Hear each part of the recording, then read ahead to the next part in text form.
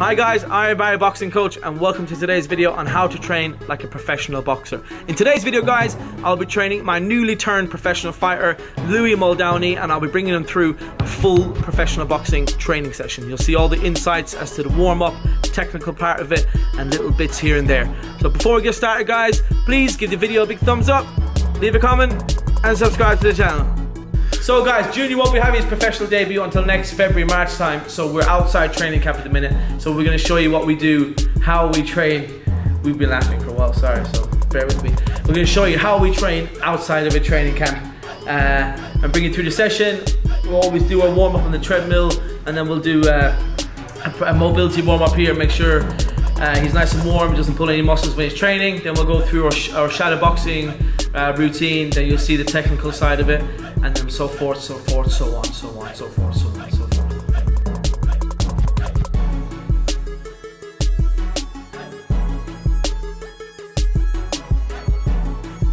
So how my fighters shadow box guys, what they'll do is they'll do four rounds, three minute rounds. Uh, the first round will be just movement. The second round will be uh, just a jab. The third round will be just straight punches.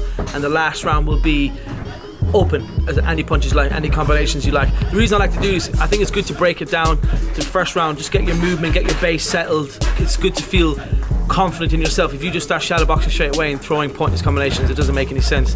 Then we'll build into the jab, then we'll build into straight punches, and then we go open. When they're in training camp, sometimes I'll let them do four open rounds, but I do think it's good to break it up a little bit, get the movement so they can focus on what they're doing. I don't agree with like pointless shadow boxing, like shoe shines and like seven, eight punch combinations. Just nice, simple shadow boxing stuff that you'll do in the pad, stuff that you'll do in sparring, because that's what it's all about.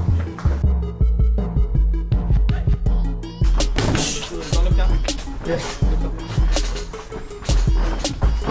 Oh, you're looking down, you're looking down. Don't look down. Don't pull the hand down. Just there. Just twist it. Just Yeah. change the level. See it, but you're still looking down. Yeah, throw. yeah, yeah. Just keep looking. You won't miss the target. Especially not my target.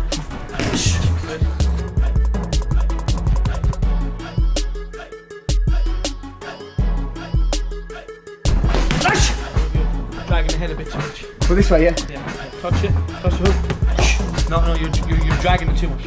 Oh, what, the actual punch? Yeah, you're, okay. you're bringing the head down too much. Alright, Just show the hook, stay there. When you, when you connect, keep your head straight. alright. Bring the head back here.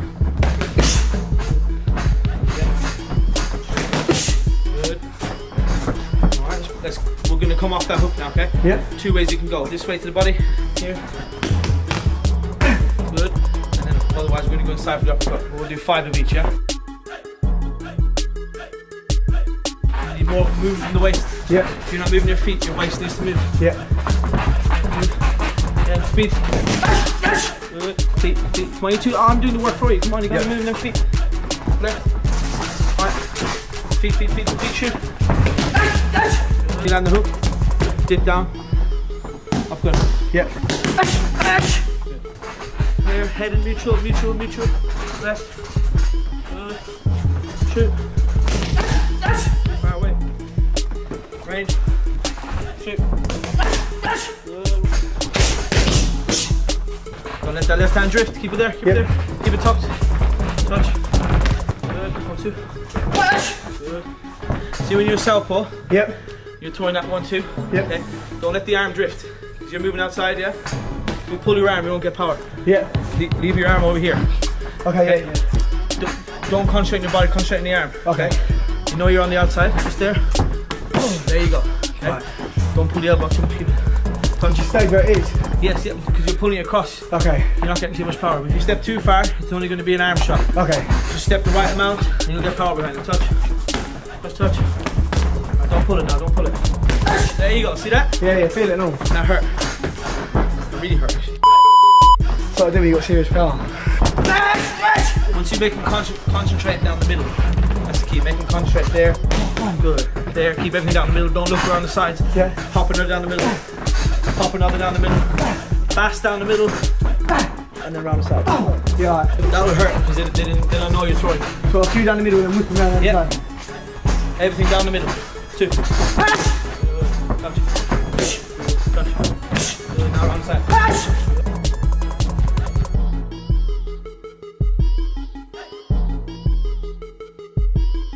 So as you can see today, we don't have any set time on the clock. Uh, when we're in training camp, obviously we have the clock on because it puts a bit, bit more pressure on you to get fit for the fight. And if you're going into training camp without knowing things that work and don't work, then you're in a bad position. So anytime me and my boys are in training camp, we know what we're doing, we know what, what we need to work on, and we can use the clock. Uh, three minute rounds, 30 seconds rest. But yeah, like I said, now we're doing maybe seven minute rounds, junior, six minute rounds. Yeah. Yeah, so, so it might be two, if he gets what we're trying to work on, it might be a two minute round. Sometimes it can go up to 10 minutes, just slowly working on things over and over again. Yeah, making sure that they're reshaping, making sure their little little touches are here and there, filling in the gaps in between.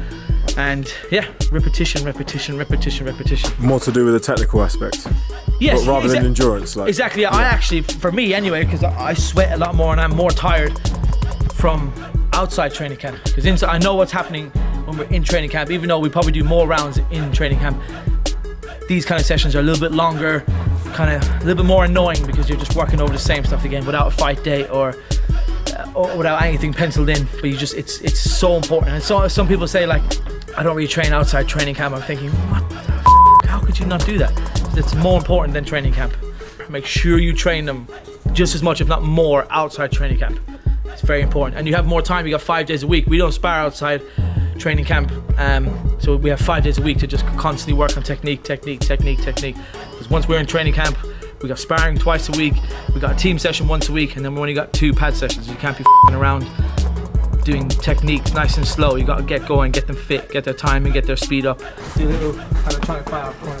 So here, right. Go catch. There, catch.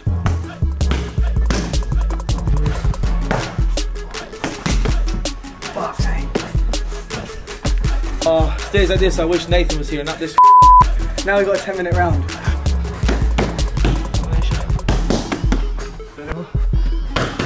Good boy. Nice combination. Time. Good boy. Mate, That's a hard combination. looks like I've been on a sunbed for about 30 minutes. Whew, it's important though to be have to be comfortable there. About 100%, yeah. I mean, Just catching a minute. you can't just spin off the ropes all the time. Yeah.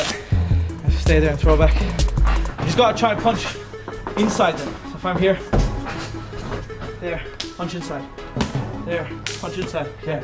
Instead of looping that, just go inside. Everything inside mine. Yeah. Inside. Inside. Inside. Inside. Inside. Inside. Inside. Inside. Inside. inside. Yeah, you're free. Whew. All right, a little bit of head movement uh, with the elastic rope. Yeah. And you can go. So at the end of every session, guys, I like to do a little bit of head movement, a bit of waist movement, a bit of defense. I feel like if you just finish on pads, you're going from hard work to then nothing. So I like to loosen them out a little bit. So today we're going to be doing some movement on the rope. I'm just getting used to being comfortable in your shape. Again, I'm going to keep saying this, guys, to anyone out here watching my videos. Make sure you're always working on your base and your shape and you're very comfortable in your movement. Don't worry about combinations and how hard you can punch, how fast you can punch.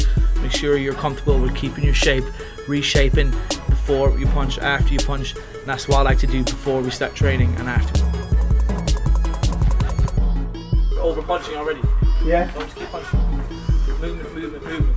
Comfortable. Find the shot. Two roll, right hand, left hook roll. Yeah, there's your combination. Yeah. Yeah, in between moving. Let's go. Hash! Hash! One, two. You roll, make sure you catch in case it's throwing again. I know you got turn there. Okay? Little touch there. Hash! Hash! Then when you roll in after right hand, left hook, go left uppercut, roll in, right uppercut, roll out, roll out. Good. And again, reset feints in between now. Good, better. I'll punch properly. Shift it, shift it. Under, under. Good, there you go. Don't come square when you're rolling. Yep. Careful of that. Better. Stop touching the rope. Get your head under it. Every time you touch the rope, that's you getting hit. Thank you very much for watching today's video, guys. I hope you enjoyed it. Uh, big thanks to my, to my man over here, Sweet. Mr. Louis Muldowney, aka Junior Gingerhead. Um, he'll be having his pro debut next year, guys. Keep an eye out for him. Uh, big prospect and big future ahead of him. So hope you enjoyed today's uh, video, guys. Any questions or anything else you'd like to see from me as a coach, drop it down in the comment box, guys. Uh, please give the video a big thumbs up, and if you haven't already, Like and subscribe. Subscribe, subscribe, yeah? Subscribe. thank you, guys.